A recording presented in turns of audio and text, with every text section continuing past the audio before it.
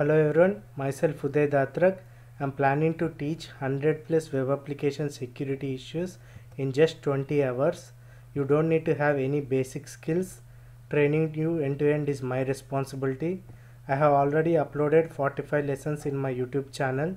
Search in YouTube for Uday Datrak and subscribe guys. I'll upload daily one or two videos. You'll be getting daily alerts. This is my playlist. You must start watching from lesson 0 otherwise you may understand all the lessons but you will not creative. With this course you can easily get a job on cybersecurity and penetration testing guys. Now we'll talk about another issue default configuration files. Uh, this is a very big concept guys. First of all you need to know what type of frameworks used by the applications and what type of softwares are installed on the server. For example in our application we need to fingerprint or we need to identify the errors. For example we know that this is the Datrak application right? We'll try to give some random input and it disclosed the Apache server version and PHP version. Now we know that the PHP is installed on the server. That means there will be PHP default configuration files second one we know that I am not writing in full. We know that we have installed they have installed Apache server. So there could be Apache HTTP server default configuration files. And what all the other softwares installed on the server to identify this you need to check in page view source to know like you know what all the softwares. For example if the WordPress is installed it will be written here as WordPress and version. Or else on the home page you can see somewhere as bottom like powered by WordPress or vBuilt-in all those things. So based on the number of softwares installed there are higher chances of identifying the default configuration files. So let's see now. Uh, we know that through this some error through some error we know that the application is running WAMP like Windows Apache MySQL PHP let's say if the application if it, the vamp is installed on the server then what could be the files? Like uh, the default st folder structure will be within the vamp folder. There will be www folder. And within that we have installed this all these web applications right apart from these web applications by default if you could see these five files which are very common like whoever installs vamp in their machine so they can come across all these five files all the time guys. So let's check whether this particular even if you have installed vamp on your machine you can directly check. If you want to access this file how you can access? Within the vamp www folder it is a direct file. Now this is the default file. Because they are by default these all these files are exist and they can be accessible externally because all these files are present in www folder itself. We are not going to check cgi bin and all because they cannot be accessible right? They can only be accessible within the www folder.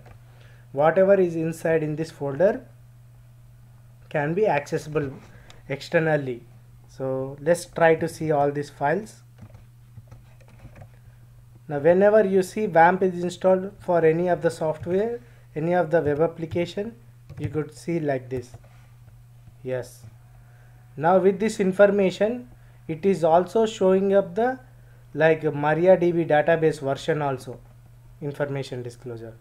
So attacker could identify what type of database and version installed just by requesting this particular file for a like you know WAMP web application and let's see another file what it disclose.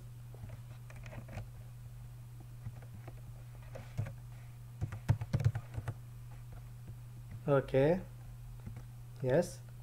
And uh, index.php is a common file. Add vhost.php I'm going to show you three four files that's it. Can you see some information? That it is showing the critical information like path disclosure Using this uh, it will lead to severe security issues which we're gonna discuss later guys. That's the reason why you need to focus on all the sensitive information displayed in the HTTP response when you request the default configuration files.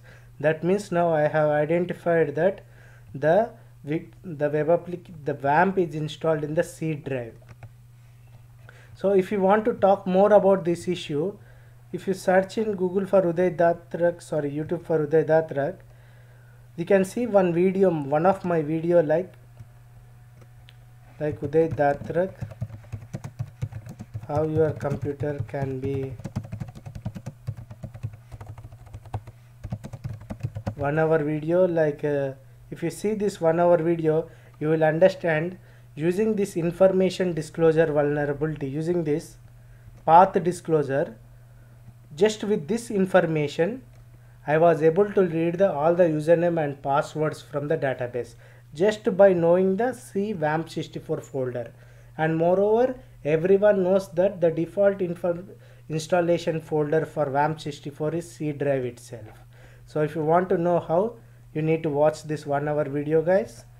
Uh, now we are only focusing on the default configuration files so now what all we identified using default configuration files the attacker can know the software versions installation folder drives and using which the hacker can also see read the database username and password which I disclosed.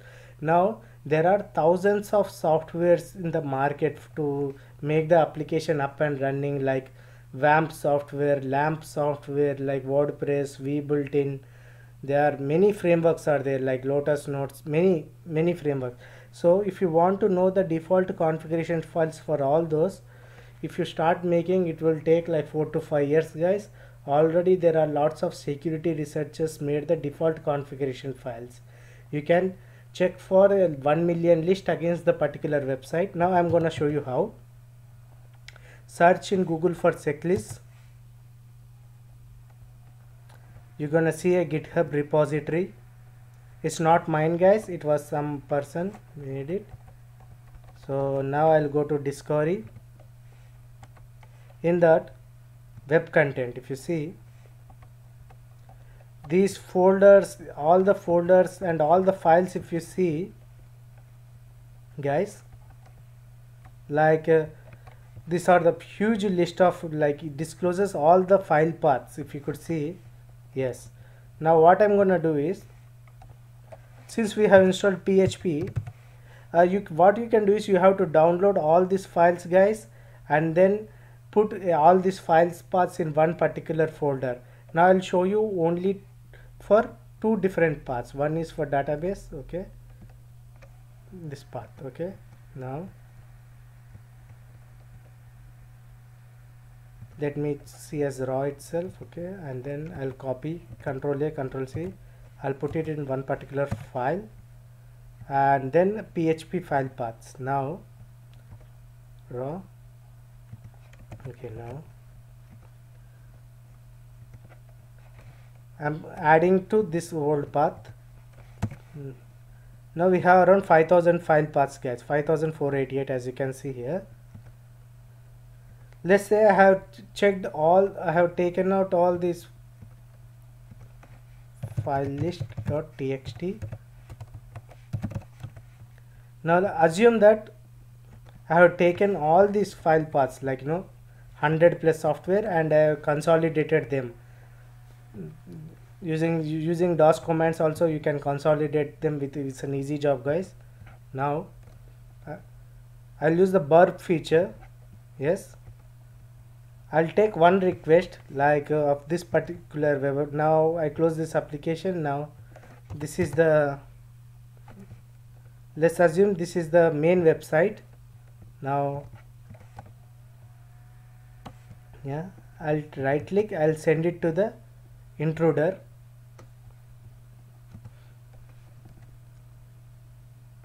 Yes now positions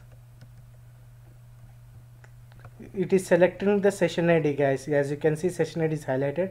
I'll just click clear. Everything is cleared now I'm going to take this path like slash. Before going further I'll see the file list. Okay yeah. Now after slash I'm going to add something like you know a, any string is fine. As you can see there is a no slash to this particular file list. Right so every file doesn't have the slash. So I'm trying to select this SSS not slash and then click add. What we're gonna do is when whenever the request comes up like I'm going to show you now click payloads let it be the simple list select load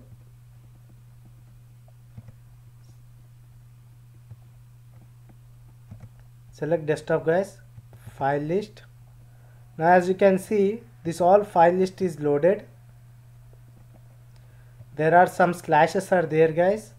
Uh, we need to make sure that this slash should be uh, yeah as per first let me run. We need to do some formatting because it should have slash for all the files or else it should not contain the slash starts with so that's okay for few. I don't want to waste time removing now. Or else I can show you how we can easily take out this. Where is that file list? Okay. There are some files are there. We can write a small script to remove the slash from the first character if it is having some slash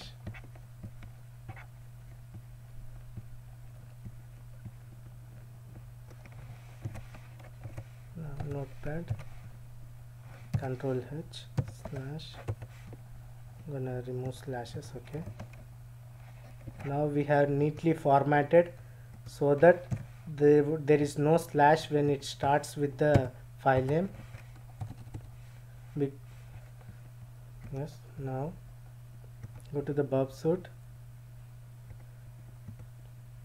we clear the list and we'll try to load once again file list now it looks neat guys. Now if you click on start attack now what it will do is it will check for each file on the server. If it is there it will show the http response 200 ok as you can see now 400 not found. Can you see this particular file? It is requesting all these files. But as you can see dot 7z it is showing as percentile 2e that means proper formatting is not there there, there is some issue with the formatting. Now for that I need to remove this URL encode uncheck this yeah. And then click start. And we'll confirm whether it's the request is going yeah slash yeah it's requesting the particular file but there is no con no that file not exist on the server. Now as you can see we are we automated to check for all these file paths on the server. And this is the status code guys. 404 means file not found. You need to check for 200 ok to see that. Since this burp suite is a demo version uh, this is checking for the file path slowly. I'll in the next session I will give you my favorite python scripts which checks for high speed. You don't even need the full version of the burp suite software I don't want to make the things very complex guys. I just want to make sure that you comfortably understand that how a hacker can understand hacker can check for 1 million file paths on the server within just few hours using automated tools. So now if the since the application is weak it discloses all the 200 codes. We are not going to wait for long here guys. So he simply goes goes out for a coffee and he comes back after 4 to 5 hours and he checks for like 200 ok status here. Whichever is there that means that file is there on the server. Now now this is how you hackers will use guys but I'll give you my python scripts later sessions. You just understand these basic concepts guys because once you understand all these 100 minimum issues you can easily use these combinations and understand how a hacker can easily hack a server in 100 plus ways using these small level combinations. First our job is consider you are a beginner. Within 20 hours you are understanding all the 100 security issues. Then everything will be a big bang. Later we're gonna hack using each like you know combination of vulnerabilities. Thank you guys